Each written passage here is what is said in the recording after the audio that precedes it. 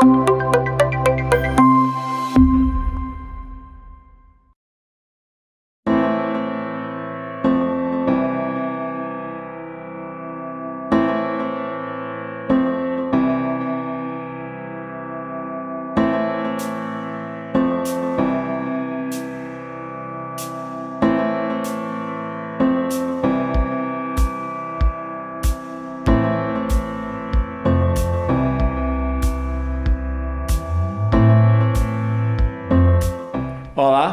muitos de vocês já me conhecem. Me chamo Eduardo Coraz, sou um nutricionista e crudívoro há 11 anos. Sim, vivo de comida crua já há 11 anos e ainda não morri de deficiência proteica. Por que eu me tornei crudívoro? Eu vivenciei obesidade ou sobrepeso a maior parte da minha vida, problemas respiratórios, problemas alérgicos, início de uma diabetes, problemas gastrointestinais, sempre incomodado com baixo desempenho físico, mental, com o meu corpo e acreditava que existia uma solução para os meus problemas de saúde. E felizmente eu esbarrei com o conceito de comida crua. Minha maior motivação na vida é compartilhar isso com o maior número de pessoas. Por isso eu fui estudar nutrição e desenvolver um trabalho sobre o assunto. Eu decidi fazer um documentário vendo os documentários em inglês sobre veganismo e vendo quantas pessoas eles conseguem alcançar. Eu sei que ao ensinar crudivorismo e ao expor o crudivorismo ao maior número de pessoas, as pessoas também vão se conscientizar sobre a importância da comida crua para a saúde, para o meio ambiente e até mesmo para a causa animal.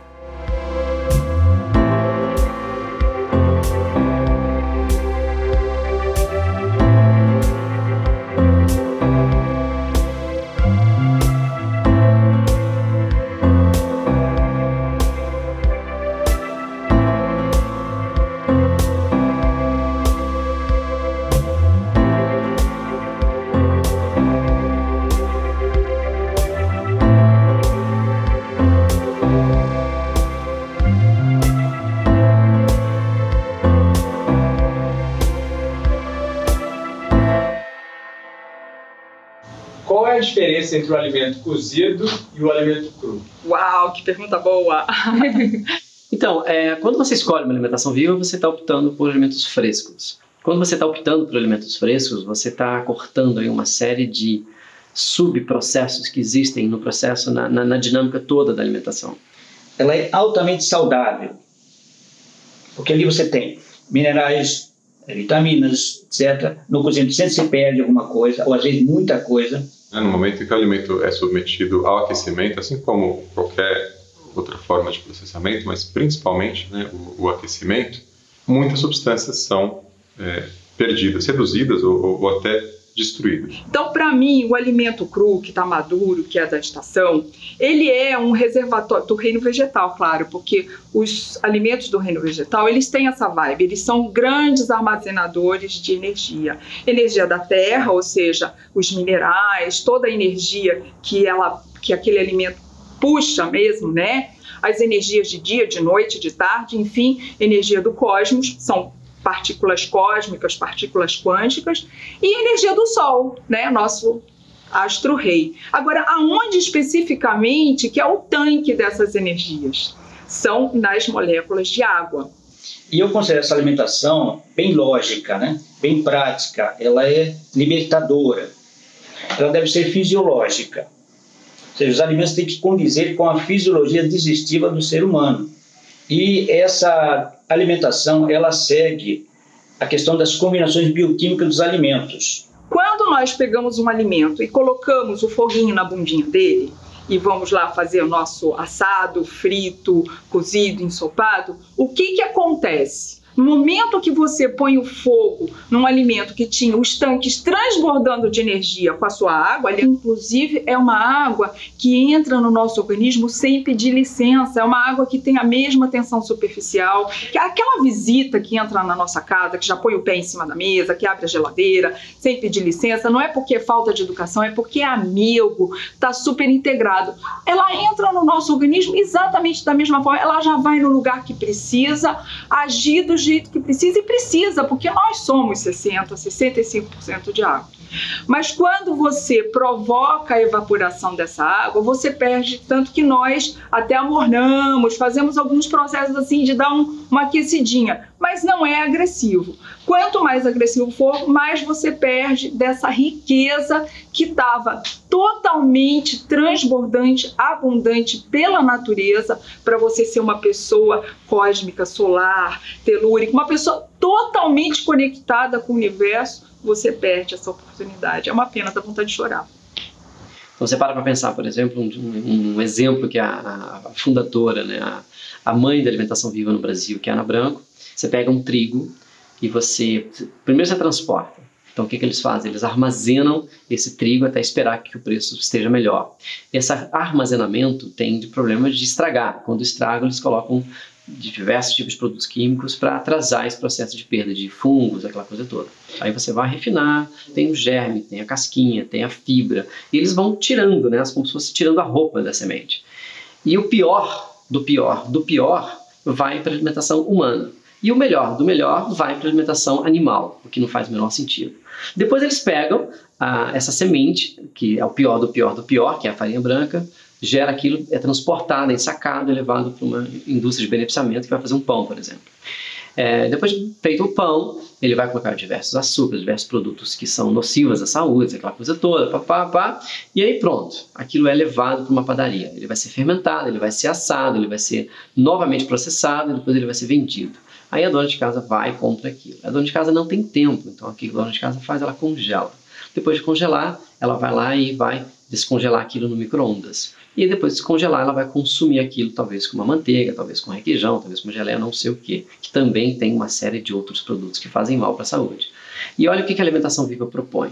Ela propõe você pegar o trigo, você germina o trigo, a partir do trigo germinado você faz uma receita dela. Ou você pode fazer um tabulho, você pode fazer um, um pão essênio diretamente dessa semente. Isso eu estou dando um exemplo do trigo. Mas tem um exemplo da linhaça, tem um exemplo de diversos tipos de vegetais onde você tem consumo diretamente da horta, do agricultor, para você estar tá consumindo aquilo no enlatado, conservado. E todo esse processo é um gasto energético muito grande para o planeta. Ela é pouco trabalhosa. Você preparar uma, uma alimentação, né? além de não ter que usar o fogão, de não poluir o ambiente, porque o gás que queima ele polui. Né? Você vai ganhar tempo na, ao lavar as tigelas, ao preparar, você vai ganhar tempo. Tá? Enfim, o custo também é mais baixo do que o alimento processado. E se você tiver um sítiozinho, você pode ter a sua cultura orgânica. Né? O cru precisa de menos conservante do que o, do que o, o já preparado, pré-cozido, essas coisas todas. Tá? Se as pessoas comessem só alimentação viva, seria uma, uma solução fantástica para todo esse lixo que existe no mundo, porque você não tem plásticos, não tem nada, latas, nada vem para essa cozinha e lixo inteiro. O que a gente está fazendo dentro de uma cozinha volta todo para a terra. Nós vivemos num planeta é, que a alimentação foi corporativizada completamente e dentro de uma economia, economia de guerra. As invenções, as grandes patentes que nós temos hoje na indústria alimentícia vieram do Pentágono americano. É, o freezer e o forno de microondas são invenções para submarino nuclear, para tanque de guerra, são invenções para um ambiente de soldado em um ambiente de conflito. Ele está trancado dentro de um lugar e ele só vai ter acesso a um algo congelado para botar no microondas. Transporte, armazenamento, embalagens, ou seja, uma série de questões completamente bizarras que o planeta está pagando por isso, porque simplesmente a pessoa está acostumada a comprar uma mentira, né? Por que, que é o pão? O pão é um alimento que parece que é um volume de comida. Só que se você condensar o pão, ele é desse tamanho, mas ele tem um fermento que ele coloca ar e imaginariamente você está imaginando que você come aquilo. Isso é um comportamento que foi criado na época da guerra, quando a gente tinha problemas de escassez de alimento. Então o pão não era feito dessa forma, o era feito compactado, aquele pão alemão, esse é o pão mais perto do pão é, cristão, né, que, foi, que era servido há dois mil anos atrás. Então, quando a gente para e pensa nesse tipo de alimentação é, e todos os alimentos processados, esses alimentos sim são dignos de, de, de, de grande indignação, assim, da parte daqueles que buscam uma alimentação mais saudável. E, infelizmente, as corporações fizeram todo mundo acreditar que esse alimento que você vai lá e busca no supermercado, algo congelado, e bota no freezer, uma pipoca que você põe no, no micro-ondas, é, e que isso é alimento. Esse é o pior tipo de alimento processado que pode existir. E esse comportamento para mentir, para enganar a população, é até hoje. Então as pessoas compram pão francês, compram pão de forma, achando que está comprando uma coisa. E aí criou um hábito de comer uma coisa macia, criou esse hábito. Esse hábito simplesmente é um hábito que você pode romper esse hábito. Basta você tentar trabalhar isso psicologicamente, fisicamente, você é, se adaptar o teu paladar a isso e você começa a experimentar novas texturas, novos sabores. E essa é a, magia, a magia da alimentação viva, né? Então, claro, quando a gente está falando de alimentos é, que compõem uma dieta vegetariana, a gente está falando de diferentes partes né, de plantas. Então, desde as raízes até os caules, os frutos ou as frutas também, as flores, né, como é o caso do brócolis, da, da couve-flor, as sementes, que são parte é, dessa planta. A gente está falando de alimentos frescos, vegetais frescos, pronto. Isso é a dieta crudívora. Aí você tem as ramificações, né? A dieta viva, que vai estar priorizando mais alimentos frescos, como brotos, gramas, aquela história toda. Aí você tem os, a dieta alcalina, que vai focar mais naqueles alimentos que são mais alcalinos e aqueles que não são alcalinos. Na hora que você consome, por exemplo, um pedaço de pão, por que, que ele acidifica? Porque na verdade ele já vem pré-digerido. Então, você, como ele já vem pré-digerido, quando você ele está no teu intestino, ele já não era mais para estar ali, ele já era para estar como estado de fezes. E ele ainda está no teu organismo, porque ele já entrou já pré-digerido. Então ele começa a apodrecer. E esse apodrecimento é uma acidificação. Você pode controlar isso muito fácil. Compra um, um de pH e você controla na tua urina e na, nas tuas fezes. Só não faça medição de controle de pH no sangue, porque o sangue é uma solução tamponada. O que quer dizer isso? Ele vai estar sempre no mesmo pH. É, como é que você pode solucionar isso? Tentando balancear a tua dieta, que é cozida, com alimentos cozidos, com alimentação crua. Porque a alimentação crua tem fibras cruas. Consome uma salada junto com a tua alimentação cozida. Você consome um suco cheio de fibras junto com o teu café da manhã e você começa a sentir que isso dá para fazer. Algumas pessoas optam por consumir apenas os frutos, são então os frugívoros, né? Ou a dieta é, frugívora. Né? Isso a, acontece é, partindo do princípio de que essa é parte da planta é, para a qual a planta teve a intenção que fosse consumida. Né? Ela produz aquela semente em volta em algo é, atraente né? e, e apetitoso justamente para que algum animal busque aquela fruta e deixe essa semente em outro lugar, assim disseminando é, as sementes. Para uma dieta frugívora deve entrar também é, alguns frutos, né, como as castanhas, para poder trazer um, um aporte de proteína que seja suficiente, completando né, essas frutas. Nós temos o que é chamado de natural hygiene, do inglês, higiene natural. São médicos americanos que acreditam que a saúde se resulta da vida saudável. E nós chamamos o higienismo de a ciência da saúde. A ciência da saúde sugere que seres humanos são organismos frugívoros. E a própria ciência está cada vez mais percebendo isso. Que nós pegamos por exemplo, os polegares opostos, a capacidade de enxergar cores, a capacidade de sentir o gosto doce, são todas exclusivas de organismos feitos para o consumo de frutas e vegetais. Por isso, nós compartilhamos 99,3% do nosso material genético com os primatas antropóides e somos classificados pela biologia como primatas antropóides. E todos esses nossos parentes mais próximos na natureza vivem primariamente de frutas e vegetais e uma pequena quantidade de oleaginosos. Comem outros alimentos de origem vegetal e até o chimpanzé, por exemplo, come uma ínfima quantidade de proteína animal, 1, um, 2% total calórico,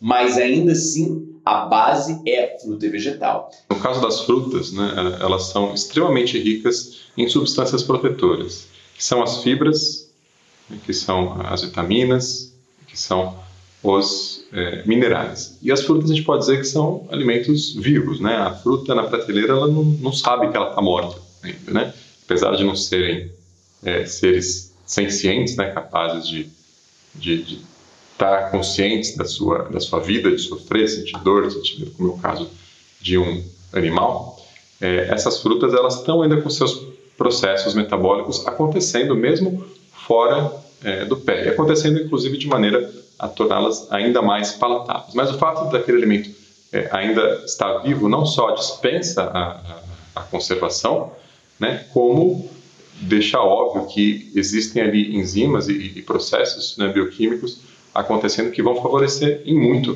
né, a, a, a saúde humana a fisiologia humana é muito parecida com a dos seus primos, os primatas, e consiste em comer basicamente a maior parte da dieta seria de frutas, doce, não doce, e de folhas verdes, ternas, né? O uso do fogo é, na espécie humana é recente em relação ao tempo da sua existência. Então, sem fogo, o que vai comer? Uma caça, mas não tem garra para rasgar o couro, os dentes não são favoráveis, não tem caninos para rasgar a carne.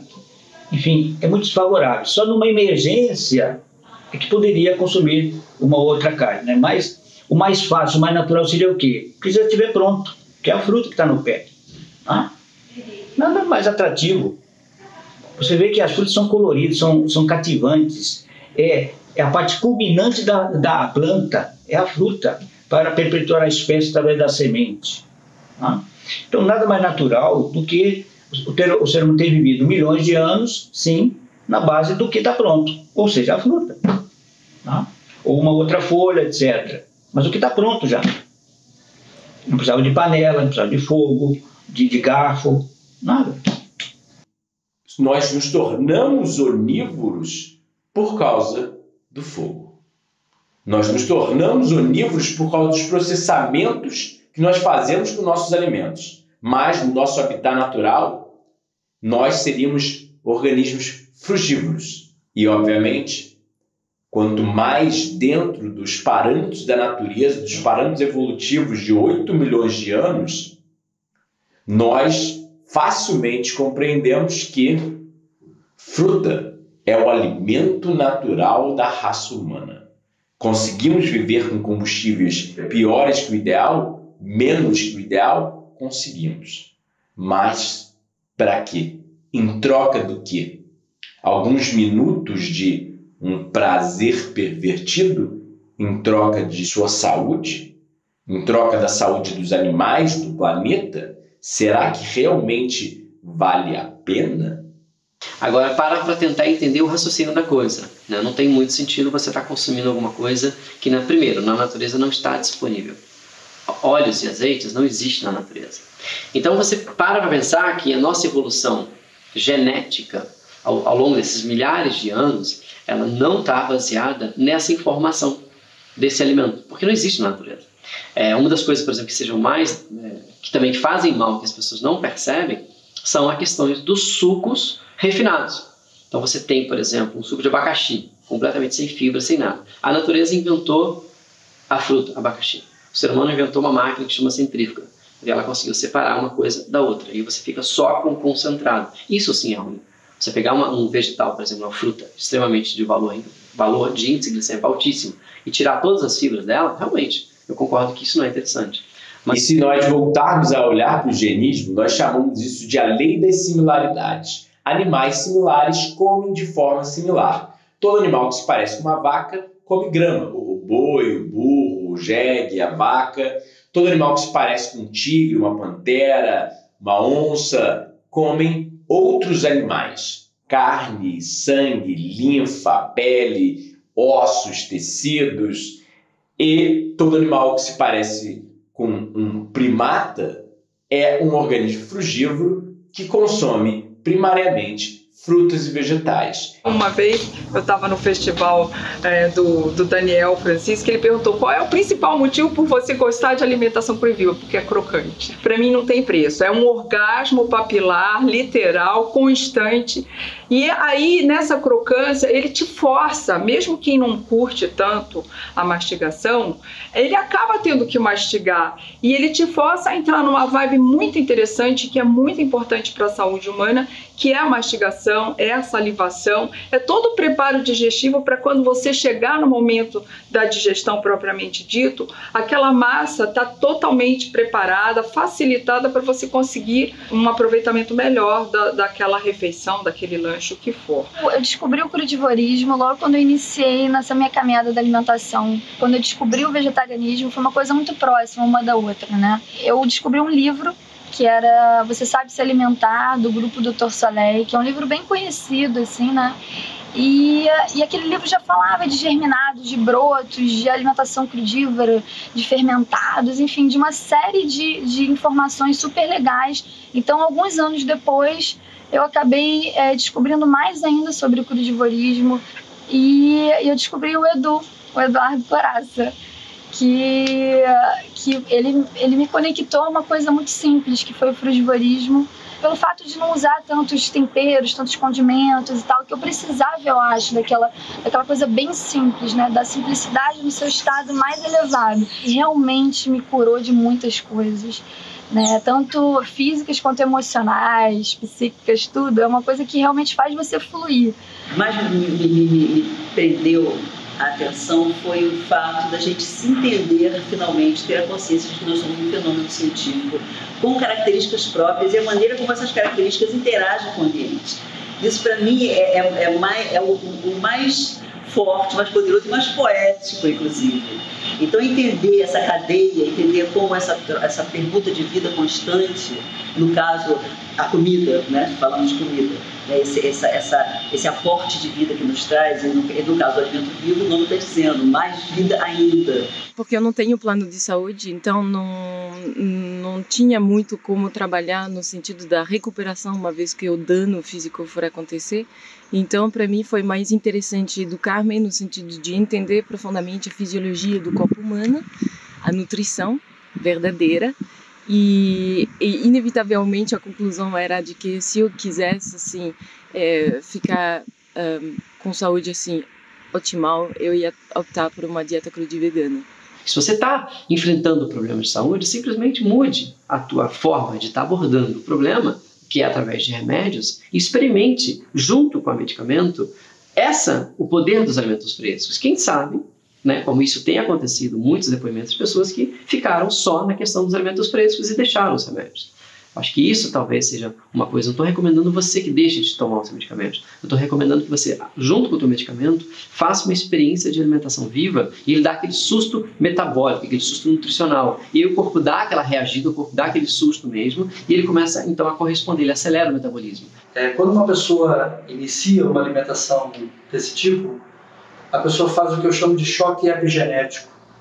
Ela, ela recebe durante uma semana sucos verdes alimentação vegetal exclusiva, brotos, isso tem um impacto imediato é, no metabolismo celular, é, no citoplasma, na mitocôndria, é, nas membranas celulares, ou seja, é uma ação direta sobre a célula. E, obviamente, uma ação também sobre a microbiota intestinal. Então, esses dois impactos modificam dois genomas, modificam o nosso genoma para melhor e modificam um genoma 100 vezes maior que o nosso, que vive junto conosco, que é o genoma das bactérias que vivem em simbiose com o nosso corpo. Então, imagine a importância e o impacto que tem você ter bactérias patogênicas e nocivas vivendo junto com você, ou ter bactérias benéficas e simbióticas vivendo junto com você. É uma escolha que é totalmente dependente da dieta que você adota.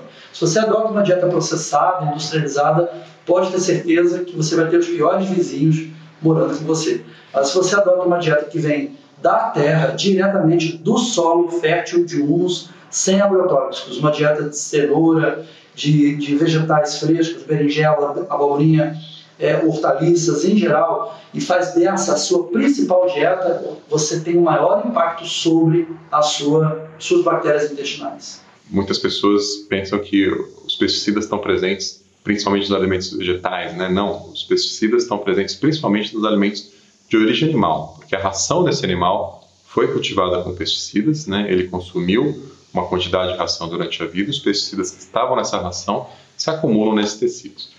A alimentação vegana é muito diferente da alimentação crudívora. A crudívora também é vegana, mas não necessariamente a vegana ela vai focar em alimentos frescos. Às vezes ela vai focar muito em tentar recopilar aquilo que se tem no mercado. Então, pão de queijo, linguiça, salsicha, carne, é, bife. A alimentação viva não está muito por aí. Ela está muito mesmo em questão. O foco, por exemplo, é suco verde, saladas, sopas. Tanto que você não existe o problema de obesidade na alimentação viva. Você tem problema de obesidade no veganismo, você tem problema de obesidade no vegetarianismo. Você não tem problema de obesidade na alimentação fresca. Por quê? Quando você cozinha o alimento, você deteriora a fibra.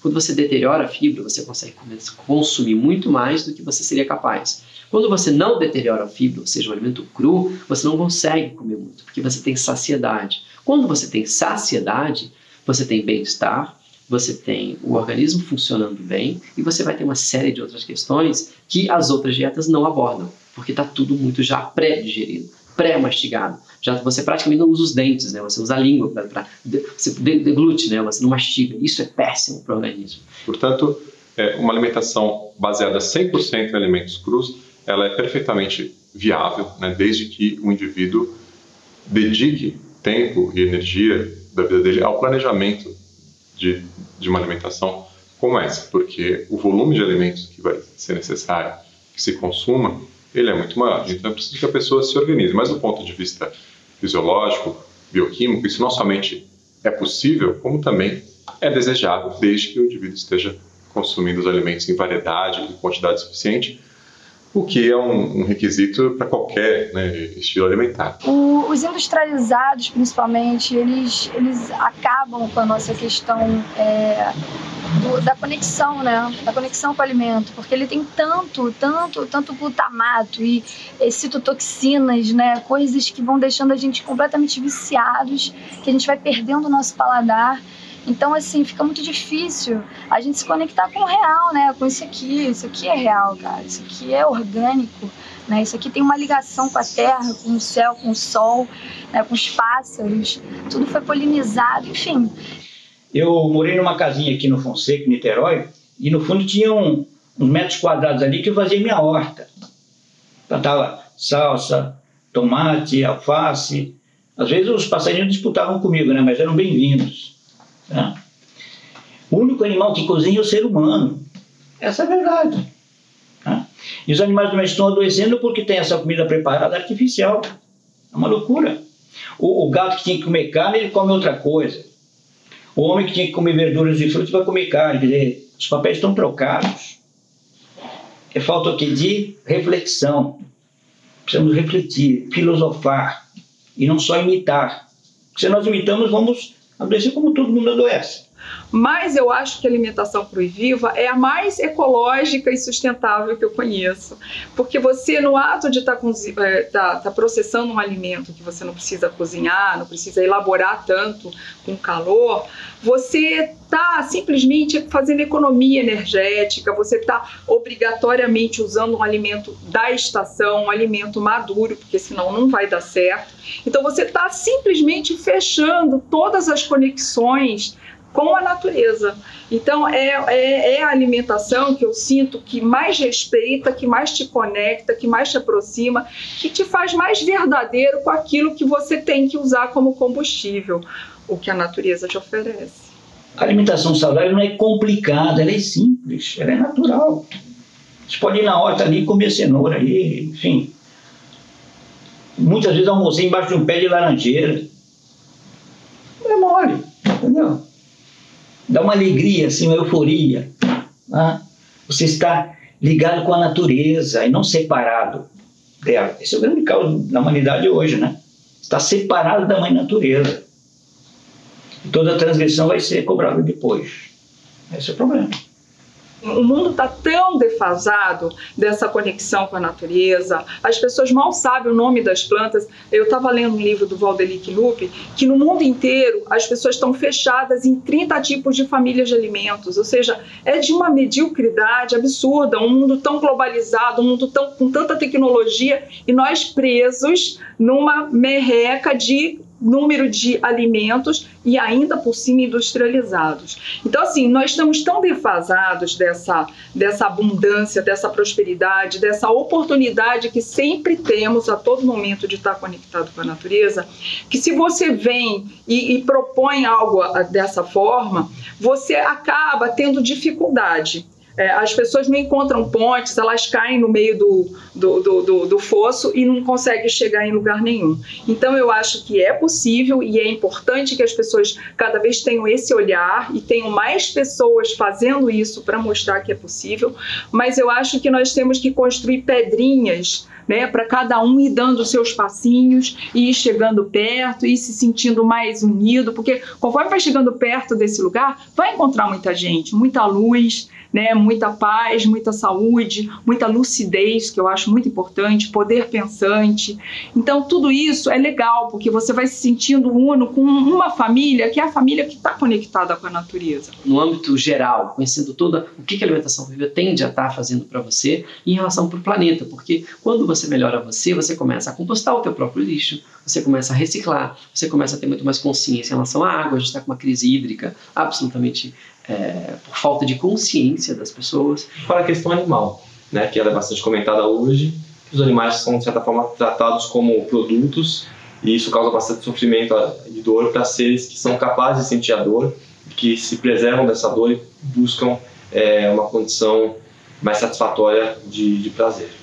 Eu, eu comecei a abrir os meus sentidos realmente e foi através da alimentação, porque para você realmente consumir alimentos crus, o seu estado perfeito para consumo, né, que é quando as frutas elas estão realmente maduras, né, estão doces e estão realmente assim biodisponíveis para gente.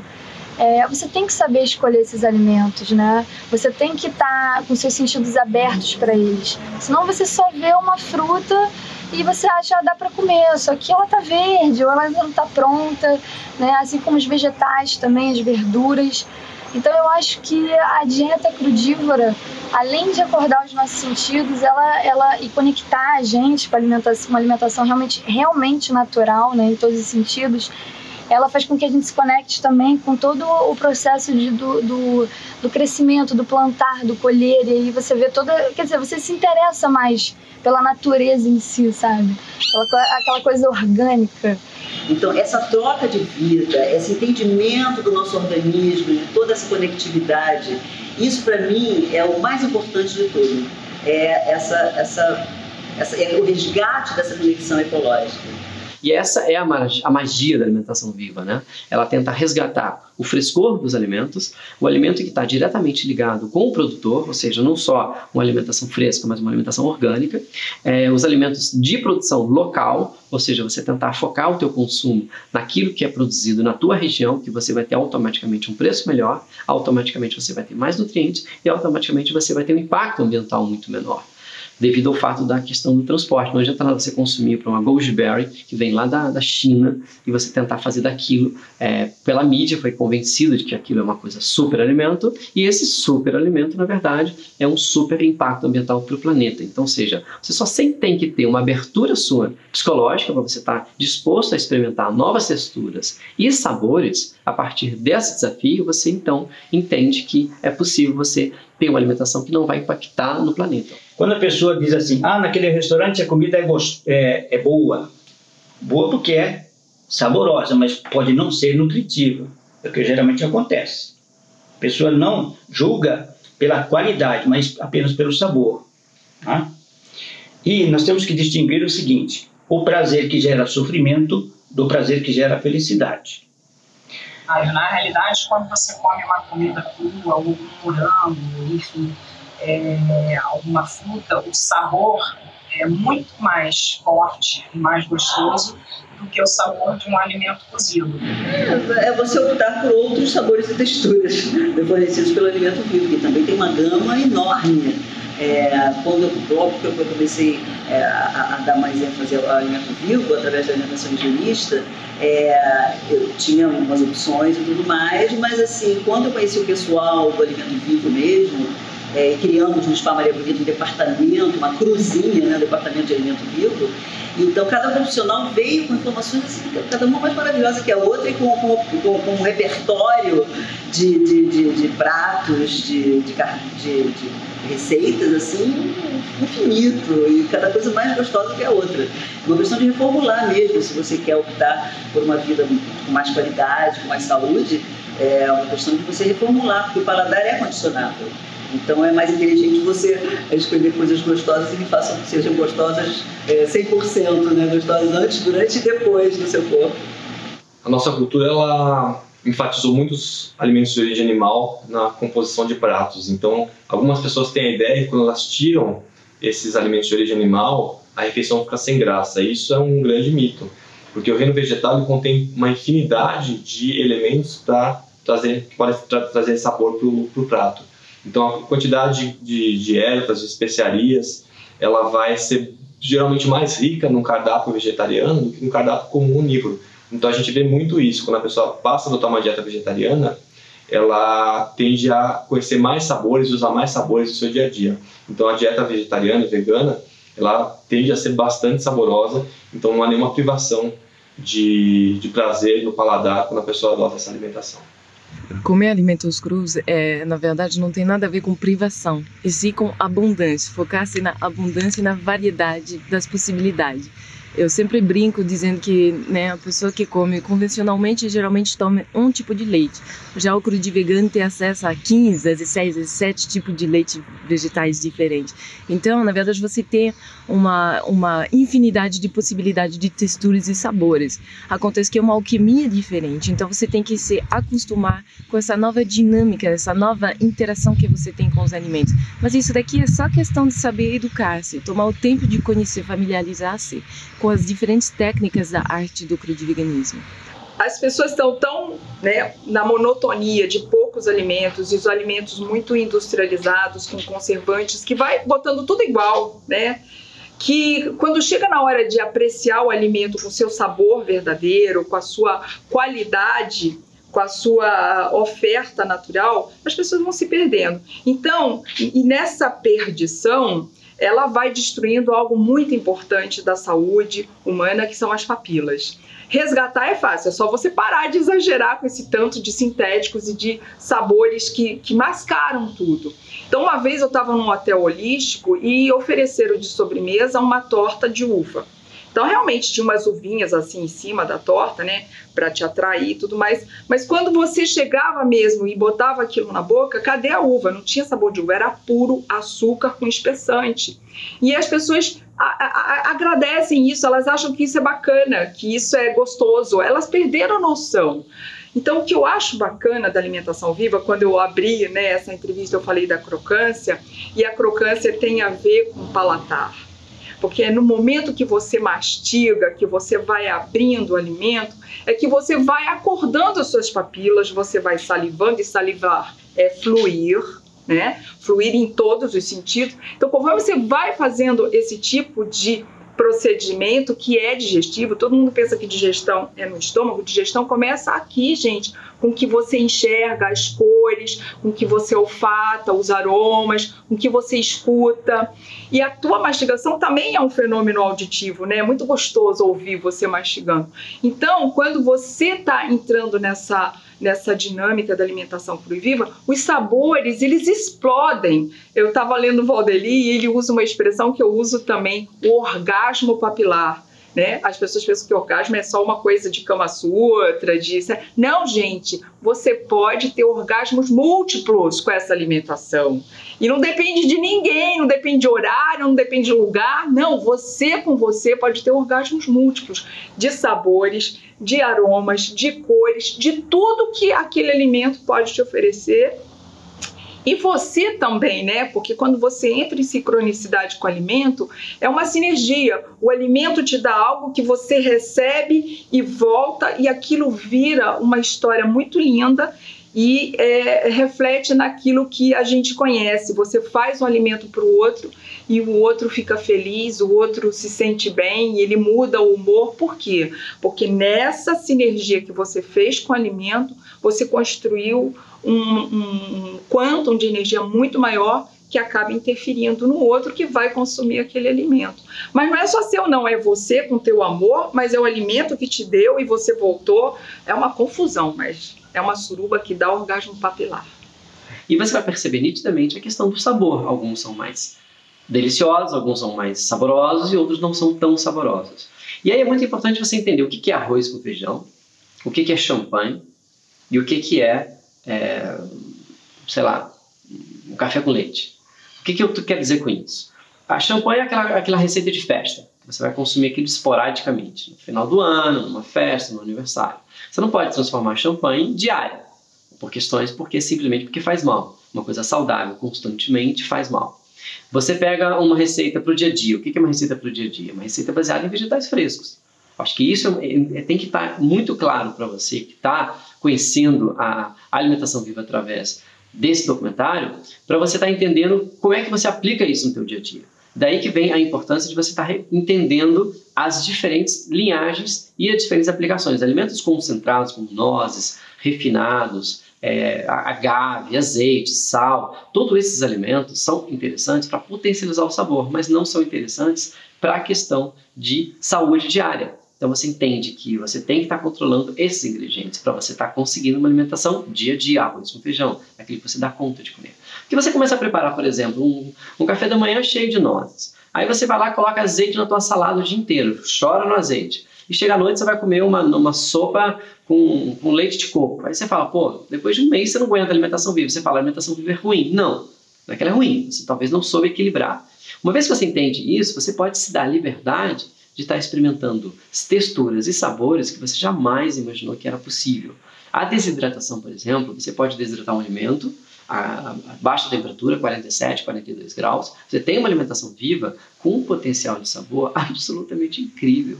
Os grandes restaurantes hoje da culinária gourmet estão utilizando as técnicas de desidratação, porque você pega, por exemplo, um arroz de couve-flor, pega a couve-flor, tritura, coloca um tomate seco desidratado em pó. Meu Deus do céu! Se transforma aquilo numa coisa completamente divina. Experimentar com o alimento cru amplia a, a questão do sabor, da textura, é uma alquimia incrível e eu tenho paixão por, pelas texturas e pelos, pelas combinações de sabor.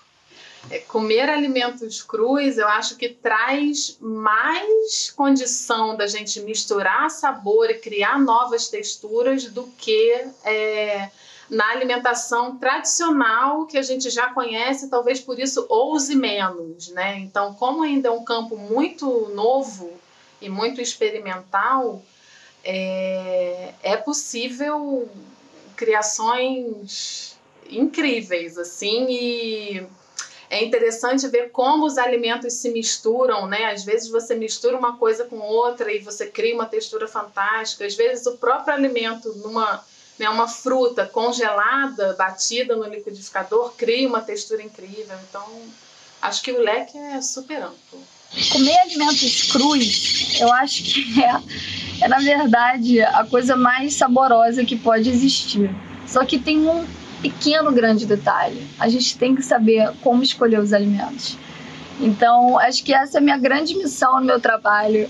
Esses anos todos, depois que eu descobri essa conexão toda com a alimentação, que foi através do crucivorismo, do frugivorismo principalmente, é, é que tem que saber. Tem que saber como é que escolhe a fruta, tem que saber como é que se escolhem os vegetais, as verduras, né? As sementes, castanhas, tudo. A gente tem que saber como é que escolhe, né? E é uma, é, é realmente assim, é, é uma prática diária.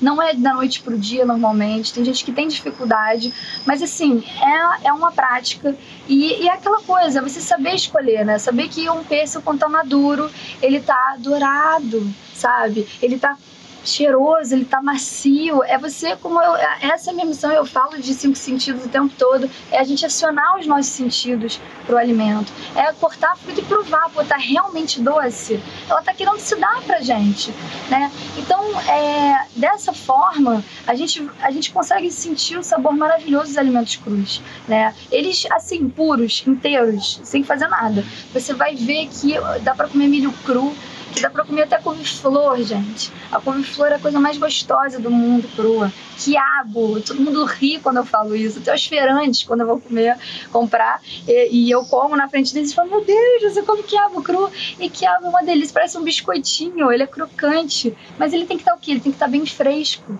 Depois que ele está muito tempo, ele fica passado, fica duro, né? Você não consegue nem quebrar ele.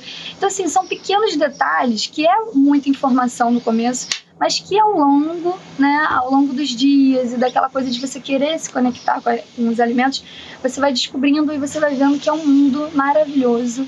A alimentação vegana ela tem vários benefícios, tanto para o corpo como para a saúde. Ela já escolhe alimentos mais saudáveis, como salada, as frutas, os cereais integrais, as leguminosas, não tem o consumo de proteína animal que tem gordura saturada ou dos próprios né, os lácteos. Então isso faz com que ela tenha uma melhor qualidade dos alimentos e também para a saúde dela. Se você come é, é, exclusivamente coisas cruas e que você for, por exemplo, verificar com qualquer programa lá de análise nutricional da composição da sua alimentação, você vai ver que você estoura de muito todas as, as doses que você deveria ingerir em termos de vitaminas e nutrientes.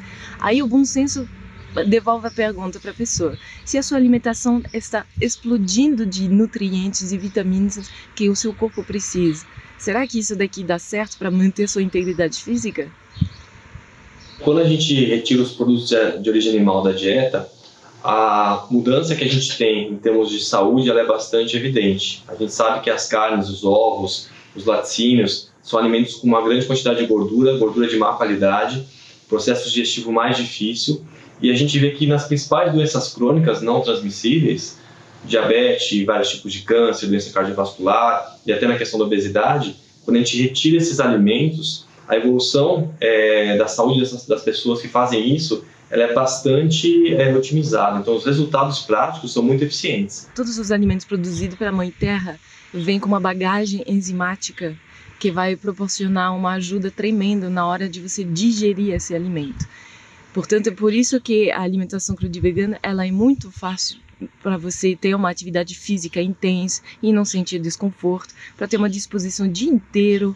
Uh, ela é muito favorável nesse sentido. O alimento cozido, a passar dos 42 graus Celsius, ele acaba perdendo um pouco sua bagagem enzimática e aí complica muito o processo digestivo, ao tal ponto que quando é totalmente carbonizado, é, quando é, não tem mais essa bagagem enzimática, o seu corpo nem reconhece o que você está ingerindo como alimento e cria até uma resposta imunológica forte.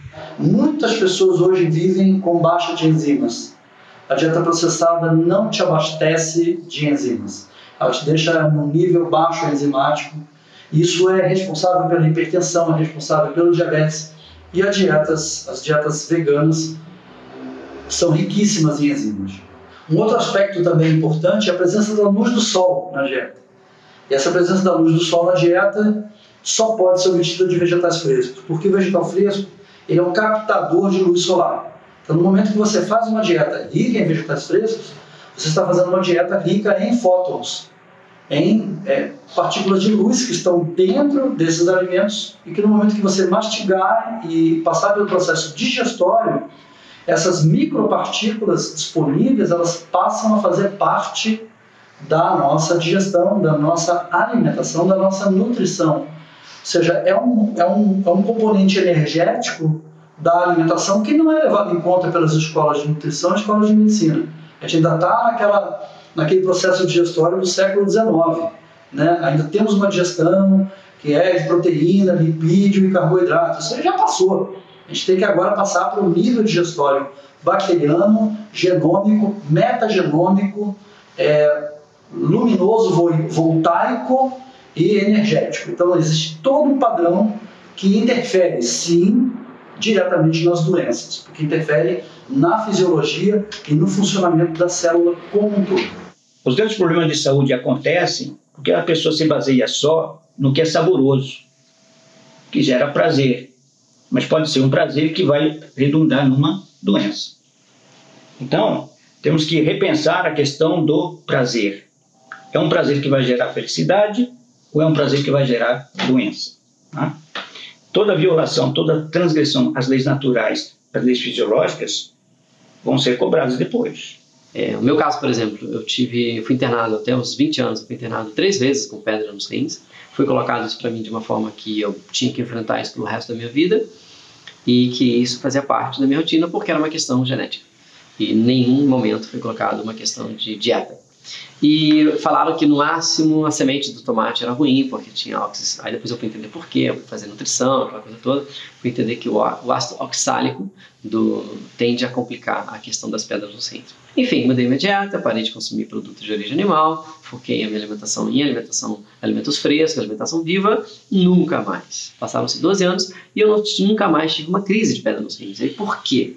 E eu tive essa, essa experiência e foi muito válido e fui documentando isso ao longo desses 10 anos em atendimentos, é, em spas, é, centros de cura que eu trabalhei, que eu gerenciei, que eu tive meu próprio centro de cura, é, onde eu pude receber pessoas que tinham vários problemas, problemas leves, prisão de ventre, é, enfim, problemas de doença, é, sono que não consegue dormir de jeito nenhum, problemas de apetite, problemas de, de compulsão alimentar, é, problemas de dor de cabeças que não passam, é, enfim, vários problemas. É muito incrível a lista de, de, de, problemas que você consegue amenizar com a alimentação viva de, de cara, de começo, assim, logo no início. De modo geral, a pele da pessoa fica mais irradiante, o tom fica muito mais harmônico, é, o cabelo fica muito mais uh, viçoso. Você sente em tudo, suas unhas, a sua vista melhor, os problemas crônicos aos quais você estava acostumado a vida toda, de repente some com base em alguns dias de alimentação cruda e vegana, ou seja, o poder da alimentação vegana em restaurar a integridade do corpo físico em todos os seus aspectos. A alimentação viva é o que há de mais avançado dentro de correção de distúrbios fisiológicos. Desde o nível do DNA, porque aí a gente está falando de correção de bloqueios é, epigenéticos, é, as estonas e as metilações, que ocorrem por conta da adoção de, de alimentação industrializada e de hábitos de vida é, insalubres, é, pouca hidratação, pouco exercício físico e todas essas práticas sedentárias, né, não práticas de vida que estão sendo é, cada vez mais padronizadas e imprimidas até na população de crianças. Nós temos muitos estudos e uma base fisiológica e bioquímica muito densa já para mostrar por que uma dieta vegetariana ela pode trazer muitos benefícios para proteção e tratamento contra as doenças crônicas. E isso é importante frisar que esse efeito é conseguido quando a alimentação é natural e integral. Se você faz uma dieta vegetariana estrita, por exemplo, com alimentos que são processados e industrializados, uma parte desse efeito protetor a gente vai perder. É, veja bem, nós estamos vivendo uma situação denominada surto tarja preta.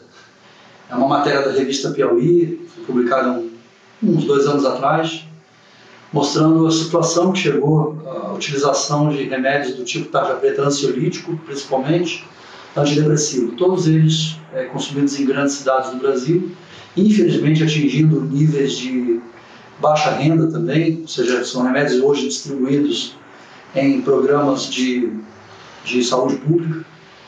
É, chegamos a um índice de utilização desse tipo de medicamento em 40% da população da cidade de São Paulo, para você ter uma ideia.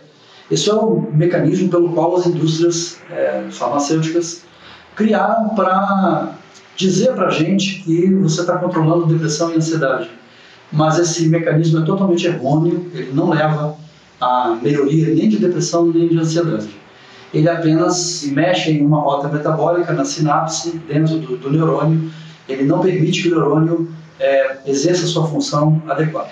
Então, de forma artificial, é, impede que a pessoa tenha manifestações de depressão. Uma criança, por exemplo, vá para a escola e tenha síndrome de hiperatividade, porque essa criança simplesmente está sedada, ela está dopada e ela não consegue nem exercer as suas funções é, originais. Muitos pais dizem que as crianças melhoraram o sintoma, mas elas perderam contato com aquela criança. De tão séria que é essa situação.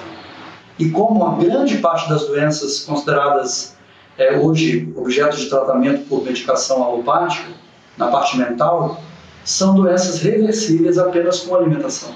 nós podemos interferir na dieta de uma pessoa, melhorando a qualidade dessa dieta, aumentando a quantidade de nozes, de leites vegetais, de laticínios em geral, de iogurtes, queijos e manteigas vegetais, e que melhoram a qualidade da substância cerebral, que o cérebro é composto, 80% dele é gordura, então a gente investe muito em uma substituição de gorduras é, que vem da, da indústria, gorduras industrializadas, é, hidrogenadas e de todo tipo, que são as piores ao entrar no metabolismo cerebral, porque elas alteram o funcionamento cerebral, criando o cérebro bioquimicamente modificado, que é a base para todas essas doenças que se tornaram, vamos dizer assim, endêmicas em grandes centros urbanos no Brasil e no mundo. As doenças que mais afetam né, a nossa sociedade hoje em dia são doenças degenerativas, né? são doenças por falta de proteção. Né? Por isso, tanta ênfase em consumir alimentos que tenham um fator protetor, que tenham essas substâncias protetoras. Alimentos que não só construam tecidos, mas forneçam também substâncias e nutrientes para a preservação da vida. Essas doenças podem e devem ser revertidas com alterações no padrão da dieta. Primeiro, uma dieta baseada em plantas, que modifica a, a estrutura é, bacteriana, é, chamada microbiota intestinal. Então, é do intestino que partem praticamente todos os precursores dos neurotransmissores que fazem a gente ter um pensamento mais alegre, um pensamento mais construtivo, mais positivo. Ou desse mesmo intestino alterado que virão é, pensamentos destrutivos, pensamentos negativos, depressivos e assim por diante. Então, a reformulação da dieta, com uma dieta com base nas plantas, altera também, de forma muito direta, é, o nível do pensamento. E a gente tem muita consciência disso sabe que isso acontece. Tem muitos relatos de casos que demonstram isso. E alguns livros que estão saindo hoje na literatura mundial, livros com ampla base médica e científica, estão demonstrando que a maior parte dessas doenças cede, regride a uma mudança alimentar. Uma mudança, principalmente saindo do laticínio, é, que vem da, de um animal que é explorado, é, escravizado para produzir leite, a dieta rica em, em carnes e gorduras animais processadas e principalmente os alimentos processados, é, a dieta processada, fast food, é, chips, miojo, é, margarina, sorvetes e todo tipo de alimento processado que vem com gordura hidrogenada. Todos os alimentos produzidos pela Mãe Terra vêm com uma bagagem enzimática que vai proporcionar uma ajuda tremenda na hora de você digerir esse alimento.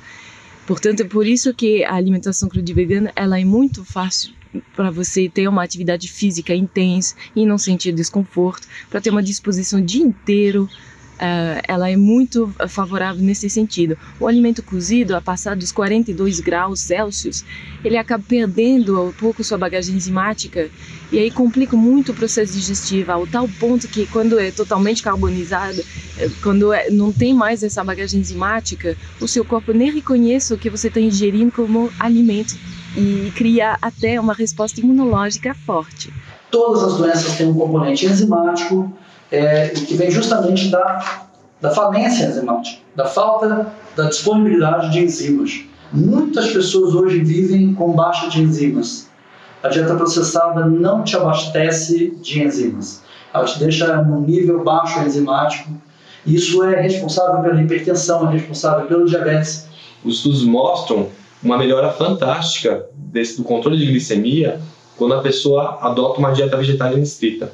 Mesmo quando você faz uma comparação de uma dieta vegetariana estrita com uma dieta com carne, porém uma dieta com carne planejada, segundo as diretrizes de uma dieta dita saudável com carne, os efeitos da dieta vegetariana estrita são muito mais acentuados e mais é, evidentes comparando com a, com a outra dieta. E o que, que acontece? Um dos pontos muito importantes para a nossa saúde é que a gente mantenha sempre uma glicemia, ou seja, um açúcar no sangue baixo, com pouco esforço, ou seja, com uma insulina baixa, que é o hormônio que controla essa glicemia. Então, isso sente dose nos exames de sangue. E essa é o, esse é o achado muito comum que a gente encontra na dieta vegetariana estrita. Isso se deve a uma série de elementos.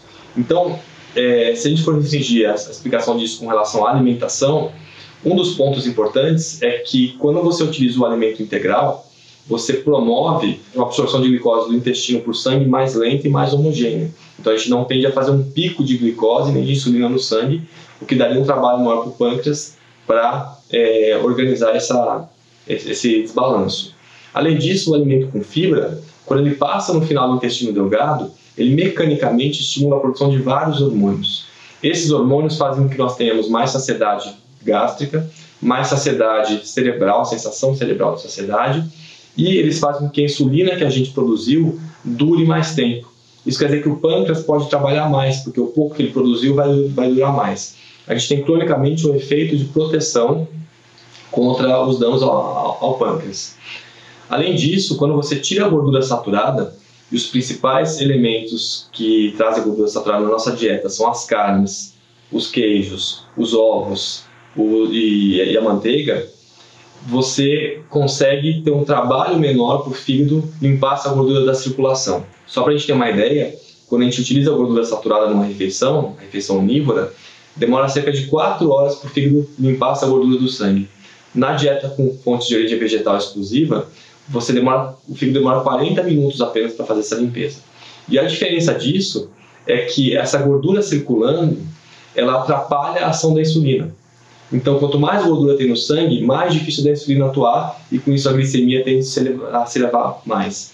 Então, esse é um ponto bem importante que a gente vê grandes mudanças na dieta vegetariana, fora que o alimento vegetal natural integral ele tende a ser mais volumoso e menos calórico. Então a pessoa consegue comer um volume e ao mesmo tempo não ingerir tantas calorias. Então o processo de ajuste de peso é muito mais eficiente nessa alimentação do que uma alimentação com alimentos derivados de animais. E o emagrecimento é fundamental para que você tenha um controle glicêmico. O tecido gorduroso produz dezenas de substâncias químicas, que são hormônios, enzimas, que bagunçam todo o funcionamento corporal.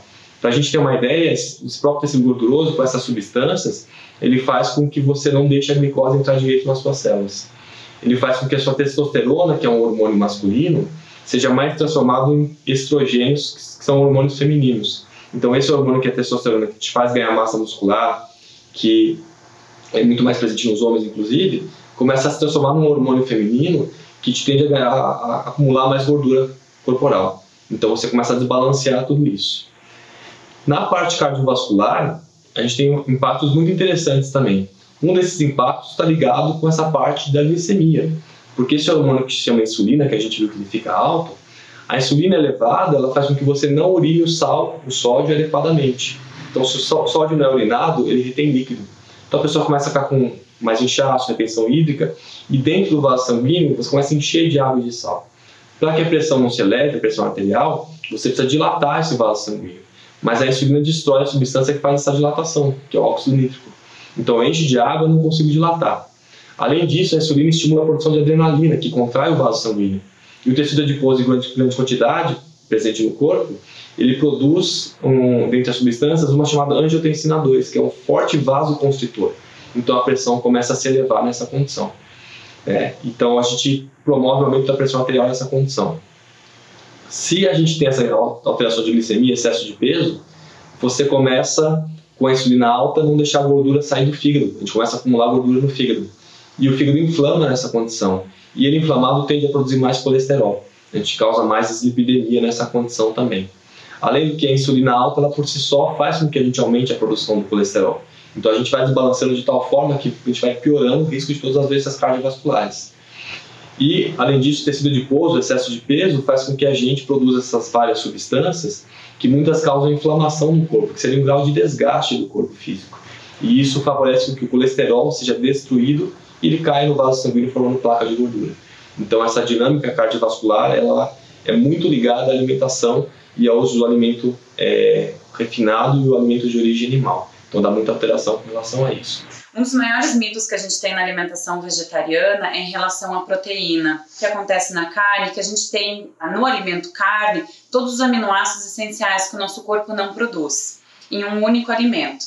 Na alimentação vegetariana e vegana, a gente não encontra um alimento com todos esses aminoácidos essenciais. A junção dos grupos alimentares durante o dia inteiro, esses aminoácidos eles se complementam e a gente encontra eles durante o dia. Alguns aminoácidos que só são encontrados nos produtos animais, esses podem ser fabricados pelo corpo né, a partir é, de outras substâncias, inclusive desses aminoácidos essenciais que estão nos vegetais. Os vegetais ainda têm a vantagem de fazer isso desacompanhados né, de todos os contaminantes químicos, né, dos xenobióticos, da gordura saturada e da ausência né, de fibras, que é característica dos produtos animais, que boa parte da população tem como principal fonte. O, o receio de faltar proteína ela veio por uma inadequação de conceitos, porque os estudos iniciais avaliaram um alimento comparando com outro. Então, se eu comparar, por exemplo, o teor de proteína dos ovos, das carnes, eu tenho um, um teor de proteína alto. Quando eu comparo com os vegetais, os vegetais têm menos. Então, dá a impressão que eu vou ingerir menos proteína de forma suficiente se eu faço a troca desse para esse. Só que o importante é pensar o quanto a gente precisa. A gente precisa disso. A gente precisa menos do que o vegetal fornece. Então, a gente precisa disso, o vegetal fornece isso e o animal fornece isso. Então, é muito tranquilo conseguir o que a gente precisa nessa, nessa mudança alimentar. Por exemplo, o melhor grupo e substituto para carne é o grupo das leguminosas, onde são encontrados os feijões, ervilha, lentilha, grão de bico. E o que complementa essa proteína são o grupo dos cereais integrais, o arroz integral, uma quinoa, um amaranto, um trigo em grão, uma cevadinha. E quando a gente fecha também as calorias durante o nosso dia, automaticamente a gente fecha de carboidrato, gordura, que é o lipídio, e proteína também. Então, por exemplo, o ferro. Quando você troca a carne pelo grupo dos feijões, a gente vai ter é, uma proporção muito interessante. Uma concha de feijão vai ser o equivalente a mais ou menos 100 gramas de carne, que é o máximo que o Ministério da Saúde preconiza para quem come carne. Só para a gente ter uma ideia matemática, 100 gramas de carne, a gente vai ter mais ou menos 2 miligramas de ferro. A gente vai absorver cerca de 18% desse ferro, a gente vai absorver 0,34 mais ou menos. Em uma concha de feijão eu tenho 4,2 miligramas. Eu absorvo menos, eu absorvo 10%. Então, ao final, eu absorvo 0,42. Eu absorvo mais nessa quantidade do que na, na própria carne. Então, essa ideia de que você absorve pouco, ela é muito relativa, porque os alimentos vegetais, muitos desses nutrientes, contêm maior quantidade. Isso é bastante compensado. O ferro, né, assim como as proteínas que estão presentes nas leguminosas, que é a família do feijão, feijão, lentilha, ervilha, grão de bico, soja, derivados, e também na família das oleaginosas, né, castanhas, castanha do Pará, castanha de caju, as amêndoas, as nozes, também as sementes menores, como semente de girassol, semente de gergelim. Esses dois grupos das leguminosas e das oleaginosas fornecem proteína. É, nesses mesmos alimentos a gente também encontra o cálcio e também encontra o ferro. A gente completa ainda a lista de cálcio e ferro acrescentando frutas e vegetais verdes escuros a essa lista. No prato também, ou após finalizar a refeição vegana com óleo de, de linhaça, você pode comer já em seguida uma fruta rica em vitamina C. Então pode ser a fruta mais rica em vitamina C é a cerola. Então pode ser uma, às vezes até a própria polpa da cerola, uma meia polpa de acerola. Você pode colocar também com um pouquinho de água e tomar, porque só um pouquinho do líquido não vai atrapalhar a tua digestão. É, no máximo 150 ml pode comer uma laranja, um kiwi, um morango, a colocar, a temperar a salada com o suco do limão. Então, essa vitamina C, ela chega a duplicar, até triplicar a absorção do ferro vegetal na alimentação. Então, é extremamente importante que a gente tenha essa vitamina C durante a refeição. E é importante lembrar também que, para não atrapalhar a absorção do ferro, que o, o grupo alimentar que mais contém ferro é, também o grupo das leguminosas, então tanto proteína como ferro vegetal. É, então a gente tem essa refeição importante ali de proteína e ferro vegetal na hora do almoço. O ideal não é misturar alimentos tão ricos em cálcio, porque o cálcio ele também vai fazer com que iniba essa absorção do ferro vegetal. Então o ideal é separar, deixar o almoço uma refeição mais rica em ferro junto com vitamina C e o lanche da tarde ou o jantar, uma a refeição mais rica em cálcio. É, em relação ao cálcio, que geralmente as pessoas né, equivocadamente entendem como um sinônimo de laticínio, o cálcio também pode perfeitamente ser obtido dos alimentos de origem vegetal. você tem fontes alimentares bastante interessantes, com uma absorção para alguns alimentos até maior do que a gente encontra nos laticínios. Para ter boa saúde óssea não basta consumir cálcio, a gente também precisa consumir uma quantidade adequada de vitamina K, né, de potássio, uma quantidade baixa de sódio é, e de fósforo, e esses, essas são justamente características dos vegetais. Então, o cálcio ele já vem acompanhado do potássio, da vitamina K e com uma quantidade muito pequena né, de sódio e, e de fósforo, que garante que esse cálcio vá ser bem utilizado pelo organismo. Então, o cálcio não só está presente nos vegetais, como ele vem acompanhado de vantagens. Os vegetais verdes escuros são uma das maiores fontes de cálcio, mas nós podemos complementar essa fonte com os leites de cereais enriquecidos com cálcio, um leite de gergelim. O gergelim é uma da, das castanhas, das sementes que mais contém, que mais são ricas em cálcio. Então, fazer um leite em casa, aproveitar o sumo do leite para fazer uma ricota, um tofu orgânico também as saladas verdes escuras, como eu já tinha falado. Então, a complementação e o conjunto desses alimentos durante o dia é que vai fechar essa recomendação de cálcio. A única vitamina que de fato não pode ser encontrada nos alimentos de origem vegetal é a vitamina B12. Portanto, a vitamina B12 precisa ser suplementada, seja no alimento fortificado, ou seja, um alimento que foi ao qual foi acrescida a vitamina B12, ou na forma de um suplemento, de um, de um comprimido que a pessoa vai tomar de maneira regular. Então, suplementar uma dieta é, baseada em vegetais, uma dieta totalmente vegetariana, não é, é sinônimo de dizer que essa dieta seja, portanto, deficiente ou que não seja natural à nossa espécie. A necessidade de suplementar essa dieta, que é sim natural à nossa espécie, vem do fato da nossa espécie não ser mais natural ao seu ambiente. Na verdade, a gente até encontra a vitamina B12 em algas, em alguns produtos mais fermentados, só que até o momento o que a gente encontrou dessa vitamina B12 é uma B12 que ela é quimicamente parecida com a B12 que a gente precisa, mas no nosso corpo ela não atua como uma B12 verdadeira. Então, nesse, nesse contexto, isso traz uma ideia de que ao abolir os alimentos de origem animal, automaticamente você vai ter uma carência de B12. Mas isso não é verdade, porque a vitamina B12 ela não depende só da sua alimentação. Ela depende muito do seu uso interno. Então, para a gente ter uma ideia, é, todo trabalho intelectual gasta muita B12, quem, quem, quem tem muito trabalho intelectual tende a gastar mais B12.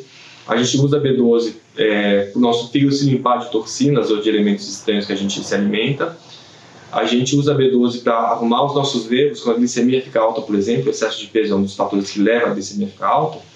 A gente usa bastante B12 para é, repor a banha de melina, que é o componente que a glicose vai desgastando no, no nosso sistema corporal.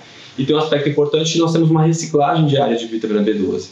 Essa reciclagem é feita pela vesícula biliar e pelo intestino. Então, quem é eficiente na reciclagem perde pouca B12. Quem não é, perde bastante B12. Se a gente for ver hoje no Brasil, cerca de 50% das pessoas que comem carne têm carência de B12.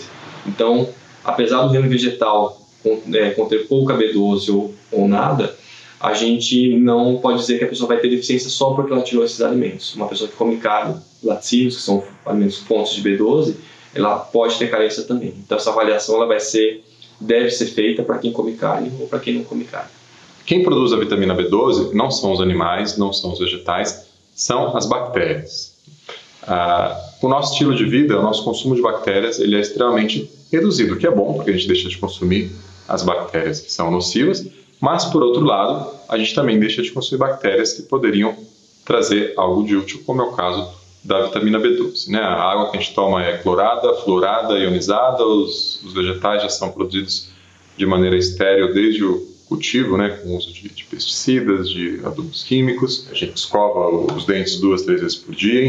Nosso contato com essas bactérias produtoras de vitamina B12 ele é reduzido. Né? Então, a, a solução para esse problema moderno é também uma solução moderna, que é o uso é, do suplemento. Então é muito importante que as pessoas que têm uma dieta vegana, elas primeiro dosem o, através de exames laboratoriais e confiram os níveis da vitamina B12 e façam uma suplementação sim, para que obtenham essa vitamina através da, das cápsulas e que a gente mantenha ela num nível superior pelo menos de 450 a 500.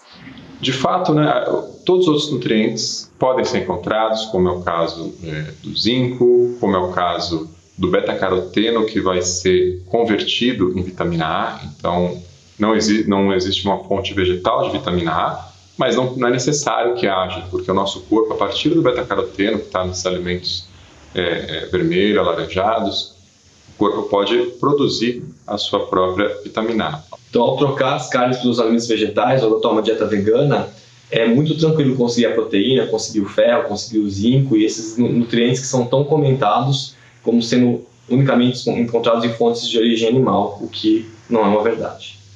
São benéficos, sim. Tem várias questões positivas dos produtos de origem animal. Tem várias. É, não é espiritual, não é ambiental, não é nutricional, mas ela tem vantagens práticas. Acho que para mim a única vantagem dos produtos de origem animal é prático, porque é um alimento rico em caloria, onde você consegue é, saciar a tua fome rápida e ele tem uma carga calórica grande. Pronto, acabou. Ela só é rica em macronutrientes. Ela não tem nenhuma vantagem nutricional porque não tem micronutrientes. E se a gente está falando de hoje de fome, onde você tem uma população que não tem acesso a alimentos frescos, eu concordo que o produto de origem animal tende a solucionar esse problema. Mas se você está falando de uma população que hoje tem problema de obesidade e que tem qualquer verdureiro em qualquer esquina, falar de consumo de produtos de origem animal perdeu totalmente sentido. Porque hoje o que está batendo na porta da população é câncer. E o que, que tem de antioxidante numa pedaço de picanha? Nada.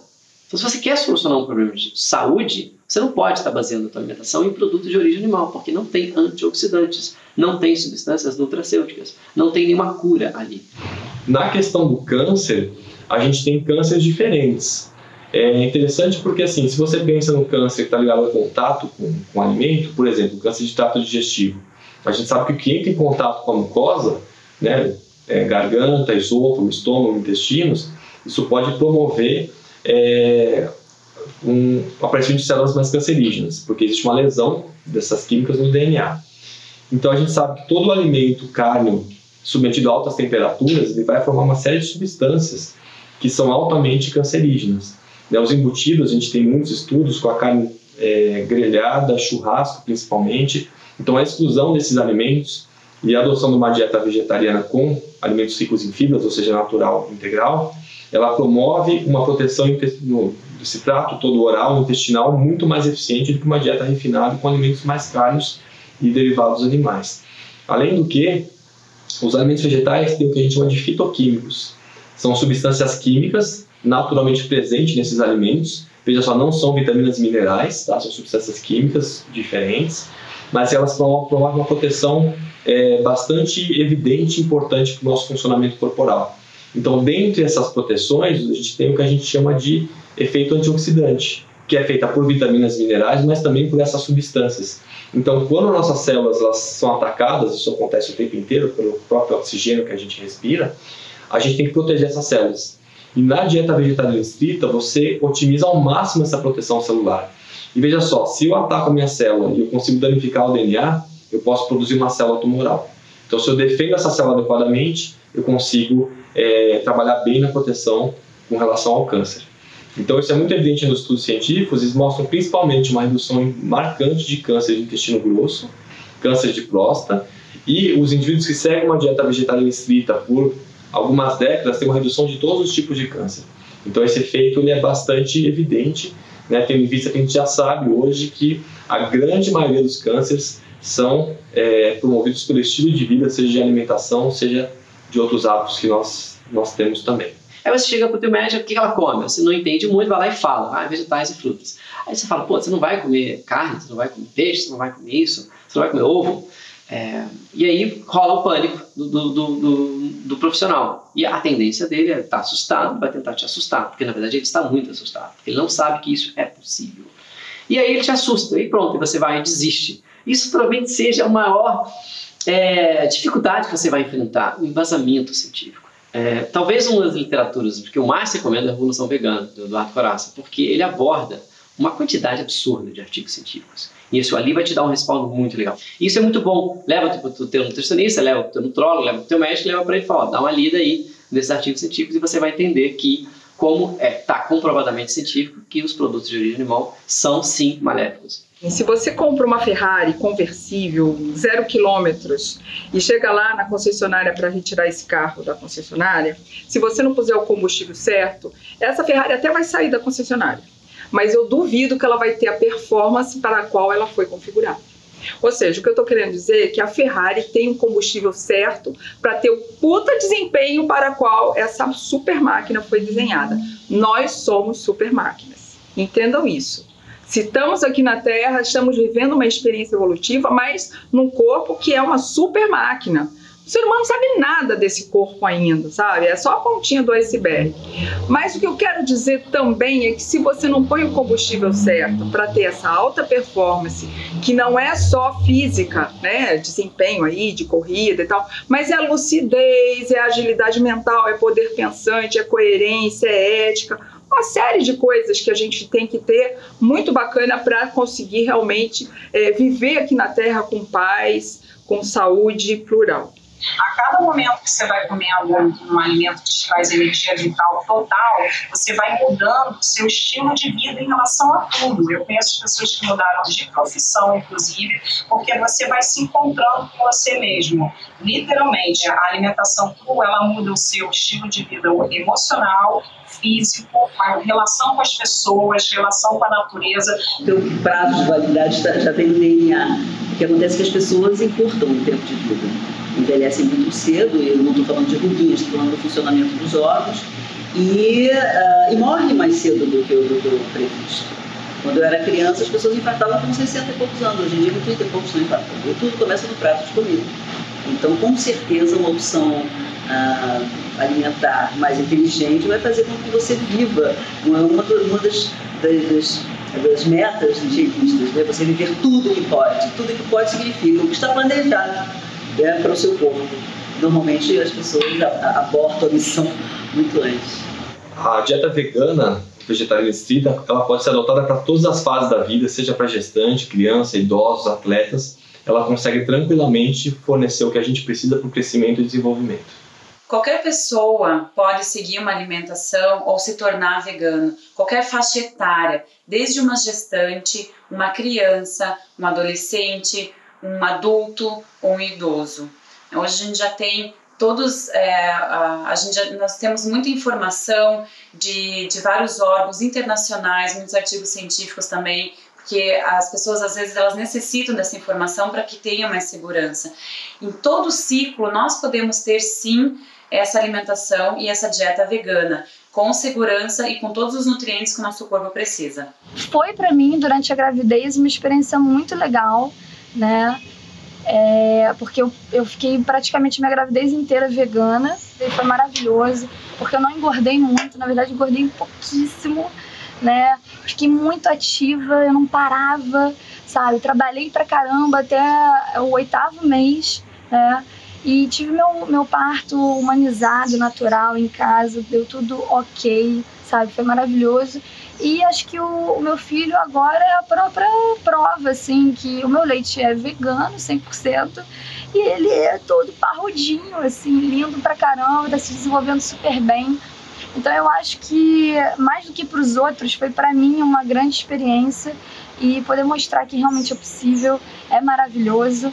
E eu tô, tô, tô vendo assim, os benefícios, tá? olhando para mim, me sentindo tão leve, né? E mãe de. Meu filho tem, vai fazer quatro meses agora, então realmente assim.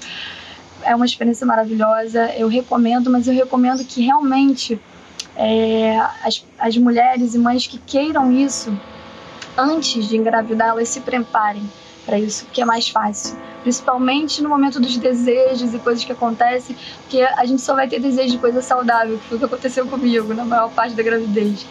Então eu acho que é uma preparação e é bom ter profissionais também guiando. É porque eu já trabalho há muitos anos na, nessa área, então foi mais fácil para mim. Mas para quem está começando e quer engravidar, eu acho muito legal ter uma orientação que vai ajudar muito. E é a coisa mais maravilhosa. Super recomendo. Isso devia ser feito com as crianças desde pequenas. Tá? Família é responsável pela saúde das crianças, não a escola. A família. Mas se o pai não pratica, a mãe não pratica, a criança fica perdida. Tá? todas as inspirações né, da criatividade, né, da nossa espiritualidade. O corpo é o nosso instrumento. Eu acho que nós temos que, que, que respeitar, até como uma forma de gratidão à vida. Né? Gratidão à vida. É, é, na minha opinião, de toda a criação, é, é, é a mais bela. É o corpo humano, é mais complexo, mais sofisticado, mais inteligente. Então eu respeito muito isso, eu honro, prezo e, e só tem vantagens, porque não apareceu nunca, nunca. Então, assim, vive cercado de pessoas, sempre tem alguém doente, um gripe, um dengue, um virose. E isso não acontece. E isso é uma coisa que é muito boa profissionalmente também, né? Você está sempre no, no ápice da sua energia. A vida se tornou muito mais fácil, é muito mais econômico, é, é sem problemas de saúde, sem você se sentir mal no dia a dia, o humor, tudo mudou drasticamente. E quando a gente pode facilmente ter sair das cidades grandes, ter grandes quintais e plantar nosso alimento e, e ajudar o planeta a reverter a crise que a gente tem vivido, econômica, social, ética, de saúde, por que não? Por que tentar seguir o parâmetro que a gente tem visto que está dando errado? E tem dado errado drasticamente. Mas a pessoa fala, poxa, mas a alimentação virtual é poderosa? Não. É muito o contrário. O corpo tem esse poder de autocura. Se você deixar o corpo em paz, ele vai curar. E a alimentação viva faz exatamente isso. Deixa o corpo em paz. Dá só aquilo que ele sabe assimilar, que é aquilo que ele soube assimilar nos últimos milhares de anos. E ele vai assimilar aquilo muito bem. E pronto, ele vai conseguir te dar um retorno de saúde muito rápido. Experimente. Não diga não. Faça a sua experiência. Não por um dia, por um, uma semana, um, dois meses. Aí você vai poder contestar, porque você tem a sua vivência e ela é que conta. Nós aqui damos sugestões, falamos nossas experiências. Agora, se você nega antes de começar a prática, você vai repensar a sua forma de ser. Cada ser humano que está por trás disso vai fazer a sua decodificação, vai fazer a sua interpretação. Então, eu estou convidando, inclusive, você a fazer a sua interpretação, a sua decodificação. Ninguém é dono da verdade, mas eu, eu recomendo que todos os seres humanos que estão aqui na Terra, se eles quiserem usar a sua máquina com alta performance, ele tem que estudar sempre. Estudar e observar. Não é só estudar e ficar lendo livro. Não, observa. Vai no lugar que vende o alimento, que planta o alimento, que colhe o alimento conversa com o alimento, conversa com o produtor, porque não adianta alguém dizer que para você que Iacom é bom. Se você não tem conexão com o Iacom, o Iacom não é bom para você, ponto. Então, essa coisa da alimentação do combustível, ele é muito dinâmico. Hoje é um, hoje eu tô grávida, hoje eu tô de férias, hoje eu tô com 30 anos, hoje eu tô com 50 anos. Isso é muito relativo, não existe algo estático e um box, sabe? Você tem que estar o tempo todo se comunicando com o que está à sua volta, os agricultores, os alimentos que estão oferecidos e com você, porque o teu corpo está dizendo, olha, eu tô afim de manga, eu tô afim de caju, eu não tô afim de banana porque hoje o meu corpo não está tendo afinidade com banana. Isso é muito bacana. E isso é a construção de um equilíbrio hormonal, de uma lucidez, de uma clareza, de um metabolismo harmônico que vai te dar toda a energia para você viver a, a, o básico, vital, manter o teu corpo né, funcionando vitalmente bem, mas te vai te dar energia para você dançar, para você ler, para você estudar, para você passear, para você se divertir, para você pedir perdão, para você perdoar, enfim é, eu acho que a alimentação cru viva é bem estudada, bem entendida, bem praticada, a melhor opção para você ter uma é, longevidade com qualidade de vida.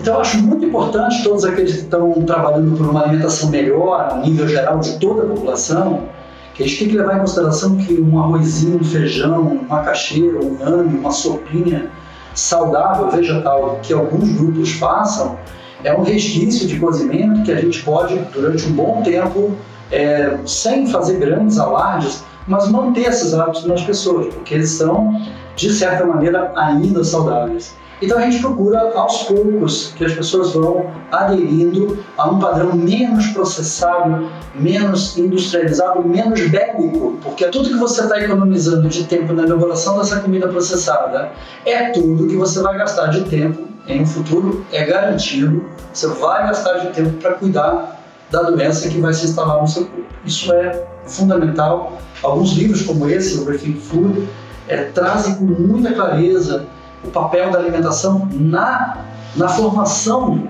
de todas essas doenças que a gente conhece hoje.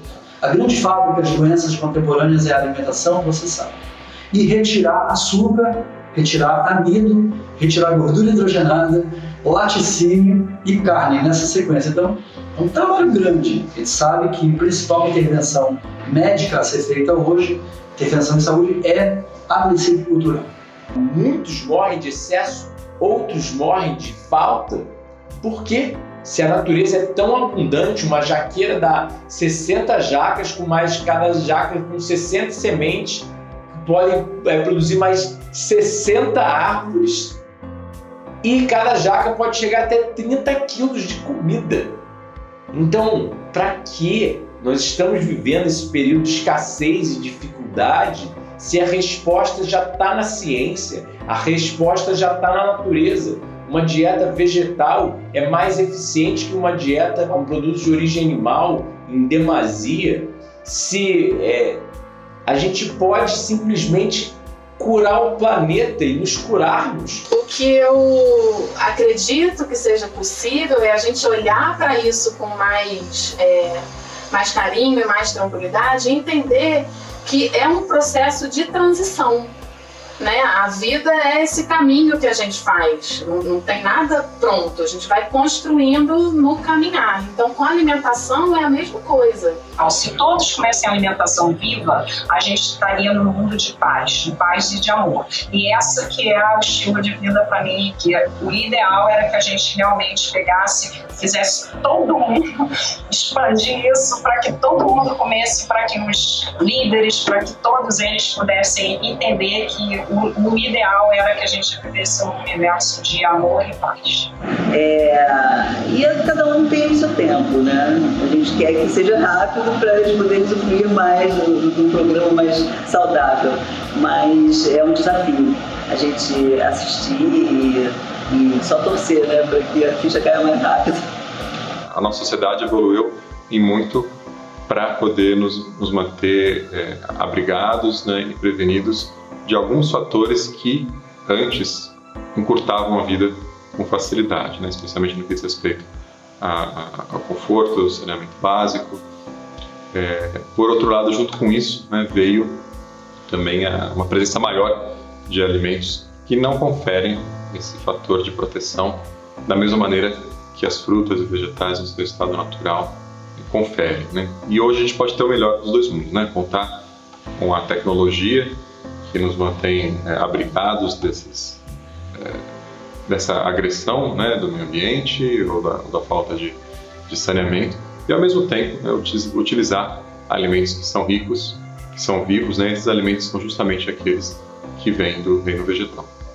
É mais sensato. Nossa avó já falava que fruta e vegetal é a comida, é, é, é, é o alimento saudável. Faz sentido o que a gente tem feito jogar agrotóxico no alimento, para quê? Se fruta e vegetal cresce tão bem, tão fácil, é por causa da agropecuária, querendo engordar gado, produzir monocultura de, de grãos, de leguminosas como a soja. É, a gente precisa é, refletir sobre o que a gente tem feito, porque, sinceramente, é tão mais fácil, tão mais simples e tão mais gostoso viver na nossa dieta original, na nossa dieta do Éden, que para que burlar a natureza se a gente acaba nos destruindo? É que é questão de educar-se, organizar-se e parar de achar desculpa e sim começar agora. Você, a sua sensação vai ser o elemento motor da sua transição alimentar. E lembre-se que a, a, transição alimentar, a mudança alimentar, é a mudança mais difícil que você teria que é, realizar dentro da sua vida, porque você tem um apego emocional que você vem reforçando desde que você nasceu. Então, muita calma nessa hora, muito amor no coração, vão experimentando e a gente eu acredito que a gente vai eventualmente terminar todos consumindo esse tipo de alimentos medicinais, porque você é o que você come. A gente quer viver saudável, extremamente vicioso. Então, para você, o suco verde. Saúde.